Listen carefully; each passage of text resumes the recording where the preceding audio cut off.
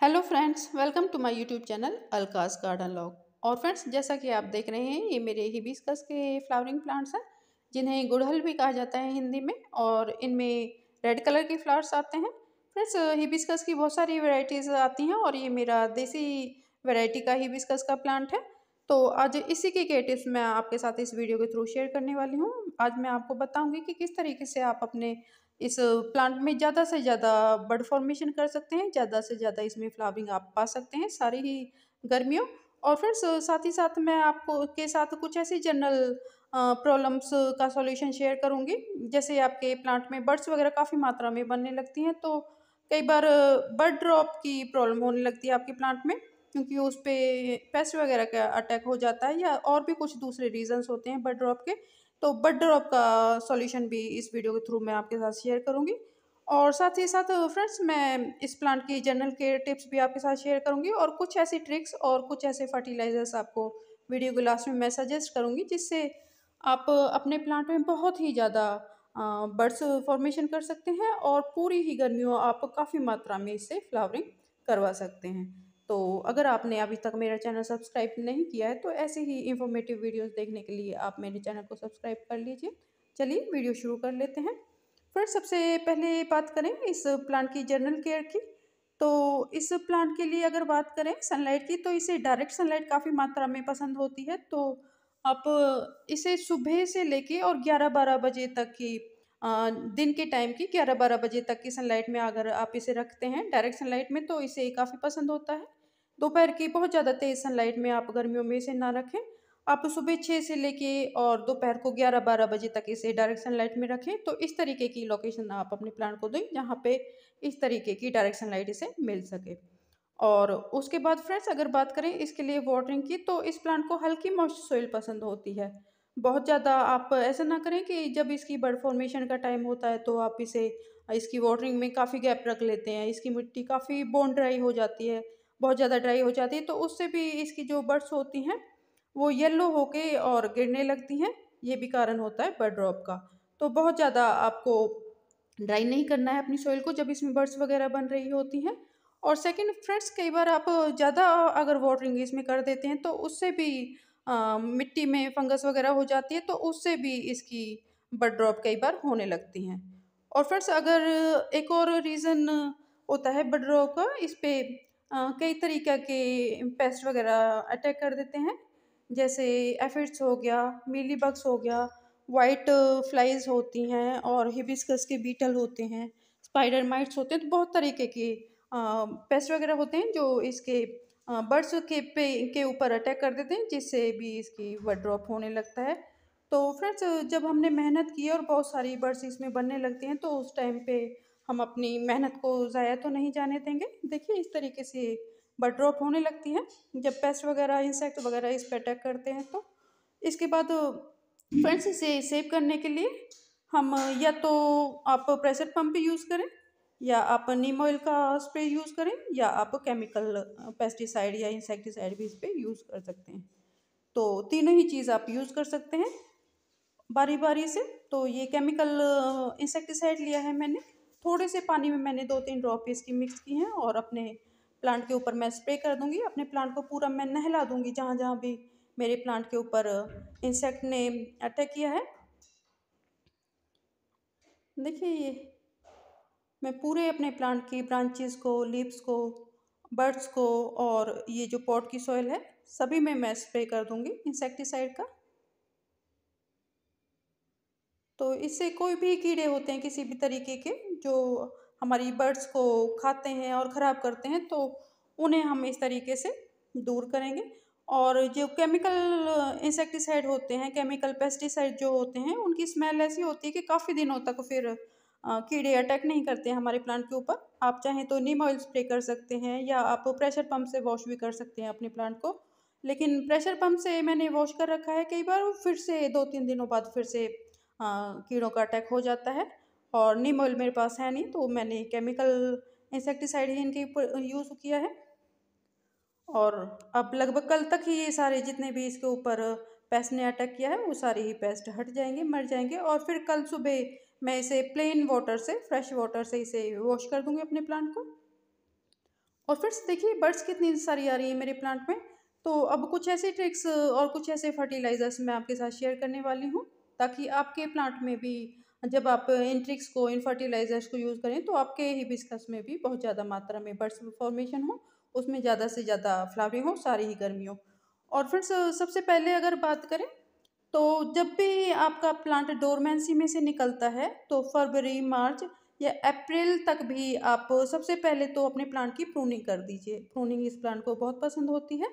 तो जो भी आपके प्लांट की ब्रांचेस लगी हो रही हैं, आपका प्लांट आउट ऑफ़ कंट्रोल हो रही है, उसकी ग्रोथ उसकी स्टेम्स इधर उधर जा रही हैं तो उसकी एक प्रॉपर शेप देने के लिए आप उसकी प्रूनिंग कर लीजिए। जब भी आप प्रूनिंग करते हैं तो एक ब्रांचेस में से दो तीन ब्रांचेस नई निकलती हैं और जो भी नई ब्रांचेस निकलती हैं, उनमें ही बर्ड्स वगैरह आती हैं, उन्हीं में फ्लावरिंग होती है। तो आप प्रूनिंग कर दीजिए अपने प्लांट की, अगर आपने अभी तक नहीं की है तो अभी भी आप कर सकते हैं। और फ्रेंड्स, फिर आप अपने पॉट की मिट्टी की अच्छे से गुड़ाई कर दें और उसकी कम से कम तीन से चार इंच की सोइल आप निकाल दें। क्योंकि जो भी न्यूट्रिएंट्स वगैरह हमारा प्लांट लेता है, उसी सोइल से लेता है और जब काफ़ी दिनों तक हम उसकी सोइल को नहीं बदलते हैं तो उसके सारे न्यूट्रिएंट्स को हमारा पौधा सोख कर लेता है। तो वो जो सोइल रह जाती है, उसमें कोई न्यूट्रिएंट्स वगैरह बचते नहीं हैं। तो फिर से हम अपनी सोइल को रिच बनाएँगे।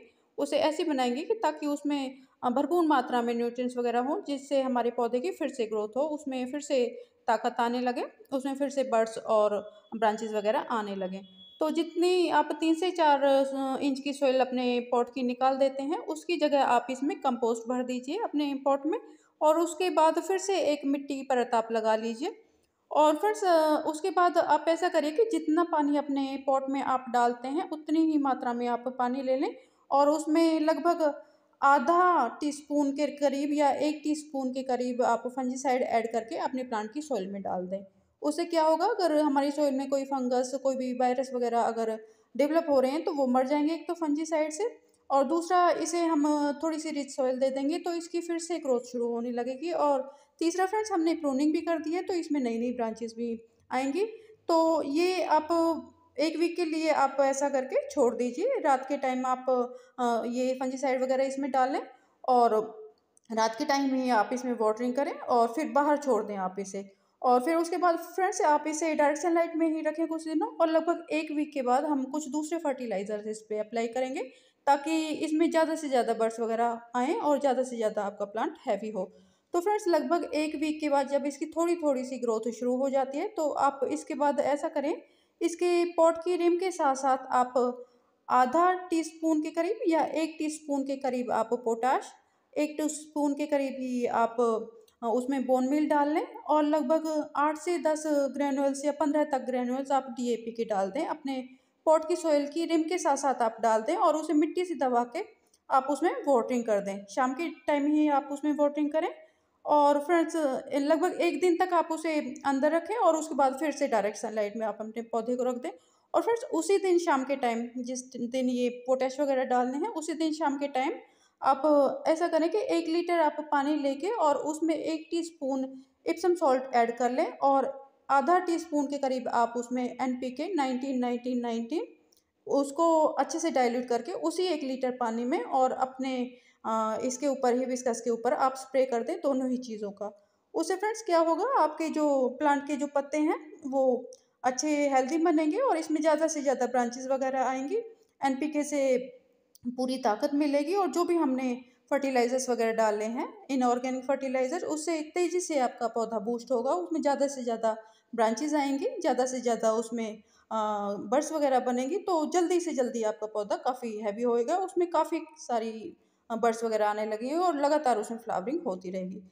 और फ्रेंड्स ये जो केमिकल फर्टिलाइज़र मैंने आपको सजेस्ट किए हैं, ये लगभग आप एक महीने में अपने प्लांट में यूज़ कर सकते हैं।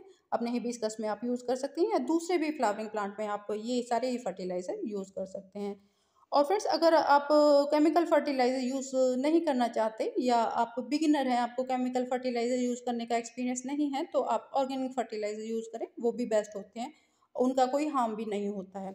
आप ऐसा करें कि जब आपने, आप प्लांट को या नर्सरी से लाते हैं या आपको अपना प्लांट रिपोर्ट करना है तो आप जब भी इसके लिए सॉइल बनाते हैं तो थर्टी परसेंट आप नॉर्मल गार्डन सॉइल ले लें थर्टी परसेंट सैंड ले लें और फोर्टी परसेंट उसमें कंपोस्ट ऐड कर लें, वर्मी कंपोस्ट या काउडम मैन्योर और इस तरीके की आप वेल ड्रेंड और रिच सॉइल में अपने प्लांट को रिपोर्ट करें। उससे लगातार आपके प्लांट में ग्रोथ होएगी और आपका प्लांट अच्छे से डेवलप होगा। और जब आपके प्लांट की अच्छे से ग्रोथ हो जाती है, उसमें ब्रांचेस वगैरह अच्छे से आ जाती हैं तो उसके बाद फिर आपको बर्ड फॉर्मेशन चाहिए, फिर आपको अपने प्लांट में फ्लावरिंग चाहिए। तो उसके लिए आप ऐसा करें कि 12 से 15 लीटर आप पानी ले लें और उसमें दो तीन मुट्ठी मस्टर्ड के का फर्टिलाइज़र आप दो दिनों के लिए भिगो के रख दें। फिर जितना जितना पानी आप अपने पॉट में डालते हैं हिबिस्कस के पॉट में तो उतना उतना लिक्विड फर्टिलाइज़र मस्टर्ड केक का आप अपने हिबिस्कस के सारे ही पॉट्स में डाल दें या ये फर्टिलाइज़र आप ये आप सारे ही फूलों वाले पौधों में डाल सकते हैं। इससे फ्लावरिंग बहुत ज़्यादा होती है आपके सभी फूलों वाले पौधों में। इसमें काफ़ी मात्रा में मस्टर्ड केक में फॉस्फोरस होता है, पोटैश होता है, नाइट्रोजन भी होता है और काफ़ी मात्रा में इसमें माइक्रोन्यूट्रिएंट्स भी पाए जाते हैं, जिससे आपके प्लांट की ऑल ओवर ग्रोथ काफ़ी अच्छे से होती है और इसका कोई साइड इफ़ेक्ट भी नहीं होता है।